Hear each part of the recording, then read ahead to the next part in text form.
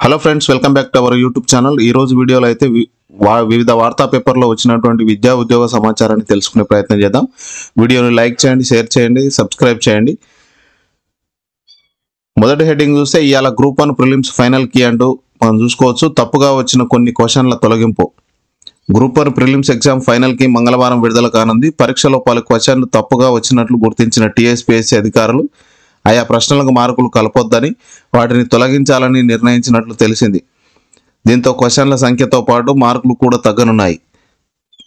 October పదహారున group one prelims పరీక్ష నిర్వహించగా రెండు లక్షల ఎనభై ఆరు వేల యాభై ఒకటి మంది హాజరయ్యారు.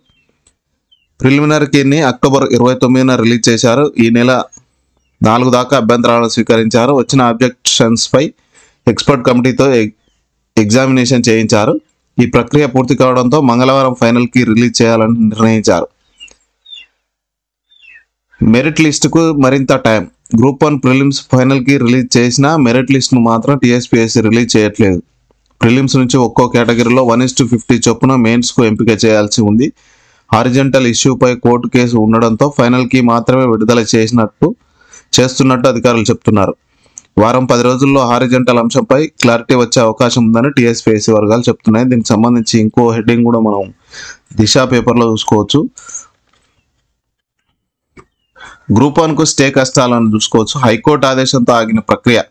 కేసులుంటేనే గోవా తీర్మానం మహిళా రిజర్వేషన్లపై టీఎస్పీఎస్సీ తిరకాసు. హారిజంటల్ విధానం అమలు కాకపోవడంపై కోర్టు సీరియస్. టీఎస్పీఎస్సీ కౌంటర్ దాఖలు కోర్టు తీర్పు తర్వాతే ఫలితాలు. నేడరోపు ఫైనల్ ఫైనల్కి విడుదల.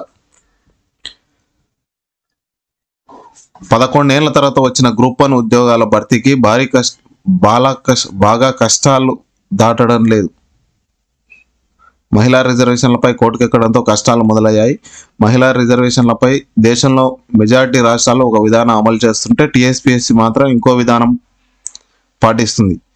హారిజంటల్ విధానాన్ని పరిగణలోకి తీసుకొని మహిళా రిజర్వేషన్లు అమలు చేయాలంటూ హైకోర్టు సూచించింది. ఈ నేపథ్యంలోనే ప్రాథమిక పరీక్షపై స్టే ఇచ్చింది. హారిజంటల్ అమలుపై స్పష్టమైన నిర్ణయాన్ని ప్రకటించిన తర్వాతే ఫలితాలు విడుదల చేయాలని స్టే ఇవ్వడంతో అభ్యర్థులు అయోమయం నెలకొంది. మరోవైపు గ్రూప్ వన్ ప్రిలిమ్స్ ఫైనల్కి సిద్ధమైంది. మంగళవారం సాయంత్రం లేదా బుధవారం విడుదల అవకాశాలు ఉన్నాయని టీఎస్పీఎస్సీ వర్గాలు వెల్లడించాయి. తీర్పు తర్వాతే క్వాలిఫై జాబితా. గ్రూప్ వన్ ప్రిలిమ్స్పై అభ్యర్థుల్లో అయోమయం నెలకొంది. మహిళా రిజర్వేషన్పై స్పష్టత రాకపోవడంతో దీనికి కౌంటర్ దాఖలు చేయడం కొంత ఆలస్యం కావడంతో ఆందోళన కొనసాగుతున్నది. మహిళా రిజర్వేషన్ల ఆందోళనలో వర్టికల్ విధానంలో టీఎస్పీఎస్సీ నోటిఫికేషన్ ఇవ్వగా హారిజంటల్ విధానమే అమలు చేయాలని హైకోర్టు మధ్యంతర ఉత్తర్వులు ఇచ్చింది. హైకోర్టు ఆదేశాలు ఇచ్చి నెలన్నర గడిచిన తర్వాత ఇప్పుడు టీఎస్పీఎస్సీ తరపున కౌంటర్ దాఖలు చేశారు. వాస్తవానికి యూఎస్పీఎస్సీ రెండు వేల పంతొమ్మిది గోవా తీర్మానం ప్రకారం కోర్టు కేసులు ఉంటే గ్రూప్ పరీక్షలపై ముందుకు వెళ్ళే వెసులుబాటు ఉంది. కానీ కోర్టు అనూహ్యంగా స్టే ఇవ్వడం స్టే కాపీలు ఇటు సర్కారు ఇటు టీఎస్పీఎస్సీ చేరడంతో ఫలితాలను నిలిపివేయడం అనివార్యంగా మారుతుంది.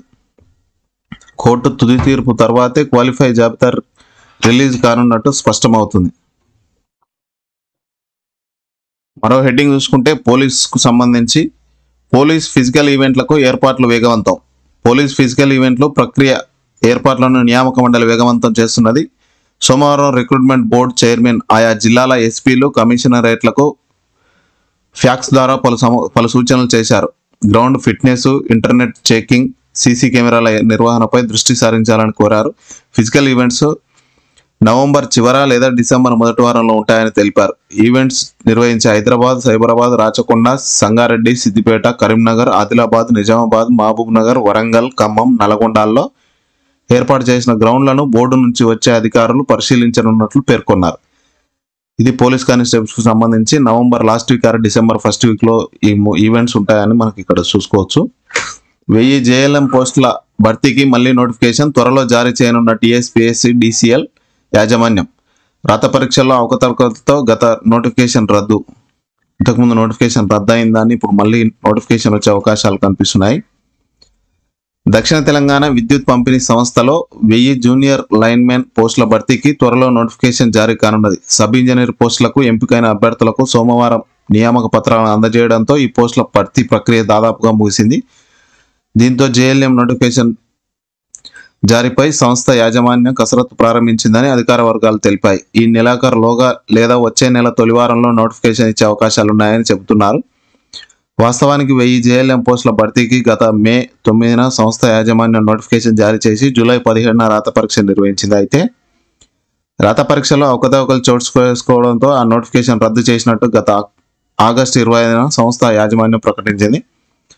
రాష్ట్ర విద్యుత్ సంస్థలకు చెందిన కొందరు ఉద్యోగులు ఏకంగా నూట ఎనభై ఒకటి మంది అభ్యర్థుల నుంచి లక్షల్లో డబ్బులు వసూలు చేసి పరీక్ష కేంద్రాల్లో వారికి సమాధానాలు చేరవేసినట్టు నిర్ధారణ కావడంతో యాజమాన్యం పరీక్ష రద్దును నిర్ణయం తీసుకుంది. ఈ పోస్టుల భర్తీకి మరో నోటిఫికేషన్ జారీ చేస్తామని ప్రకటించింది. ఇదిలా ఉండగా కొత్తగా నోటిఫికేషన్ జారీ చేసిన తర్వాత అభ్యర్థులు మళ్ళీ ఫీజులు చెల్లించి దరఖాస్తు చేసుకోవాల్సి ఉంటుందని అధికార వర్గాలు తెలిపాయి. ఇది జూనియర్ లైన్కి సంబంధించి నోటిఫికేషన్ రా రాబోతుంది. నేడు ఫుడ్ సేఫ్టీ ఆఫీసర్ ఎగ్జామ్స్ ప్రిలిమినరీకి ఫుడ్ సేఫ్టీ ఆఫీసర్ పోస్టుల పరీక్షకు నిర్వహించిన ప్రిలిమినరీ కీని మంగళవారం వెబ్సైట్లో పెడతామని టీఎస్పీఎస్సీ వెల్లడించింది. కీపై అభ్యంతరాలుంటే ఈ నెల పదహారు నుంచి ఇరవై వరకు వెబ్సైట్ ద్వారా మాత్రమే పంపించాలని సూచించింది. మెయిల్ నేరుగా సమర్పించిన అబ్జెక్షన్లను పరిగణలోకి తీసుకోబోమని అధికారులు స్పష్టం చేశారు. ఇరవై నాలుగు ఫుడ్ సేఫ్టీ ఆఫీసర్ పోస్టుల భర్తీ భర్తీ కోసం ఈ నెల ఎనిమిదిన ఎగ్జామ్ నిర్వహించారు. ఈ పరీక్షకు తొమ్మిది వేల నాలుగు వందల ఎనభై ఎనిమిది మంది అటెండ్ అయ్యారు. దానికి సంబంధించి ప్రిలిమినరీకి ఈరోజు వెబ్సైట్లో అందుబాటులో ఉంటుంది. ఆర్టీసీ కార్మికులకు సర్కార్ షాక్. ఏరియర్స్ లేకుండానే పీఆర్సీ. మునుగోడు బైపోల్ ముందు హామీ ఉత్తముచ్చటేనా ఇచ్చిన మాట నిలబెట్టుకోవాలి. ఆర్టీసీ కార్మికులకు ఇచ్చిన మాట ప్రకారం కేసీఆర్ ప్రభుత్వం రెండు పీఆర్సీలు ఇవ్వాలి. రెండు వేల పదిహేడు పీఆర్సీకి ముందు ముందే మాకు పదహారు శాతం ఐఆర్ ఉంది కాబట్టి ప్రభుత్వ ఉద్యోగులతో సమానం కావాలంటే ఇంకా ముప్పై మూడు శాతం ఫిట్మెంట్తో పీఆర్సీ ప్రకటించి మొత్తం నలభై తొమ్మిది శాతం ఇవ్వాలి. యూనియన్లను అనుమతించి సర్కార్ మాట నిలబెట్టుకోవాలి.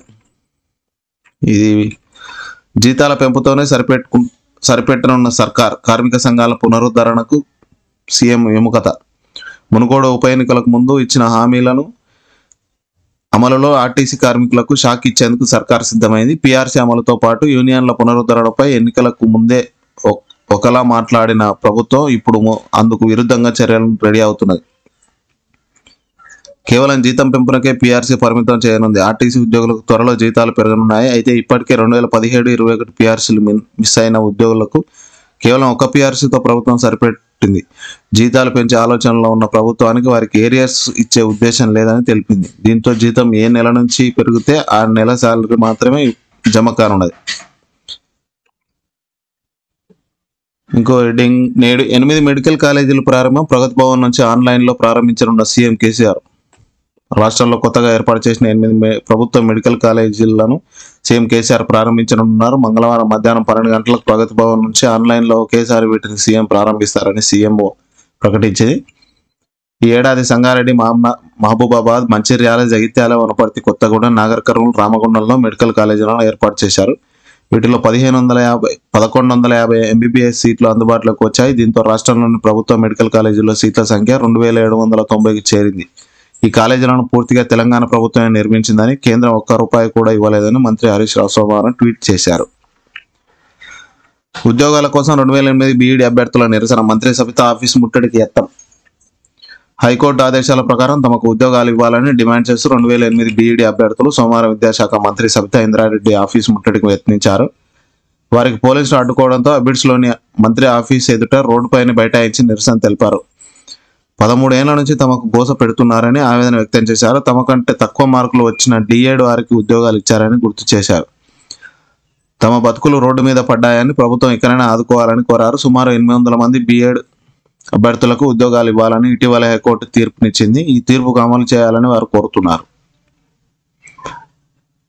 టీఎస్పీఎస్సీ మెంబర్స్ భర్తీకి అప్లికేషన్లు ఆహ్వానించారా? ఆహ్వానించారా లేదా? పూర్తి వివరాలతో కౌంటర్ దాఖలు చేయండి. ప్రభుత్వానికి హైకోర్టు ఆదేశం. Telangana state public service commission members నియామకం చేసే ముందు దరఖాస్తులను ఆహ్వానించారా లేదా చెప్పాలని రాష్ట్ర సర్కారుకు హైకోర్టు నోటీసులు జారీ చేసింది. సభ్యులను ఏ ప్రాతిపాదికన నియమించారో చెప్పాలని ఆదేశించారు. మెంబర్స్ నియామకానికి చెందిన పూర్తి వివరాలు సమర్పించాలని chief justice Ujjal Bhuyan justice C V Bhaskar రెడ్డిల division bench ఆదేశాలు ఇచ్చింది స్కూళ్ళకు ఇంగ్లీష్ మీడియం పర్మిషన్ ఇవ్వండి. మంత్రి సబితకు హెడ్ మాస్టర్ల సంఘం వినతి. రాష్ట్రంలో పెండింగ్లో ఉన్న నలభై స్కూళ్ళకు ఇంగ్లీష్ మీడియం పర్మిషన్ ఇవ్వాలని హెడ్ మాస్టర్ల సంఘం ప్రభుత్వానికి కోరింది. ఈ మేరకు సోమవారం విద్యాశాఖ మంత్రి సత్యేంద్రారెడ్డిని సంఘం రాష్ట్ర అధ్యక్ష ప్రధాన కార్యదర్శులు రాజపాను చంద్ర చంద్రప్రకాష్ రాజ్ గంగారెడ్డి కలిసి వినతిపత్రం అందజేశారు. టెన్త్ ఎగ్జామ్ ఫీజ్ షెడ్యూల్ వచ్చిందని అయినా తొమ్మిది పది తరగతులకు నిర్వహిస్తున్న సుమారు నలభై సర్కారు స్కూళ్ళకి ఇంగ్లీష్ మీడియం పర్మిషన్ రాలేదని చెప్పారు. ఈ అంశాన్ని పలుమార్లు ఉన్న- ఉన్నతాధికారుల దృష్టికి తెచ్చినా ఫలితం లేకుండా పోయిందని ఆవేదన వ్యక్తం చేశారు. ఇంగ్లీష్ మీడియం శిక్షణలో పర్మిషన్ ఇవ్వకపోతే స్టూడెంట్లు నష్టపోతారని మంత్రికి వివరించారు. టీచర్లకు బదిలీలు ప్రమోషన్ల ప్రక్రియ వెంటనే చేపట్టాలని విజ్ఞప్తి చేశారు. ఆయా సమస్యలపై మంత్రి సానుకూలంగా స్పందించినట్లు నేతలు పేర్కొన్నారు. ఇది ఈ రోజు వరకు ఉన్న విద్యా ఉద్యోగ సమాచారం. ఇలాంటి విద్యా ఉద్యోగ సమాచారాన్ని రెగ్యులర్గా మీరు పొందాలంటే ఖచ్చితంగా సబ్స్క్రైబ్ చేసుకోండి. ఫాలో అవ్వండి ఫ్రెండ్స్.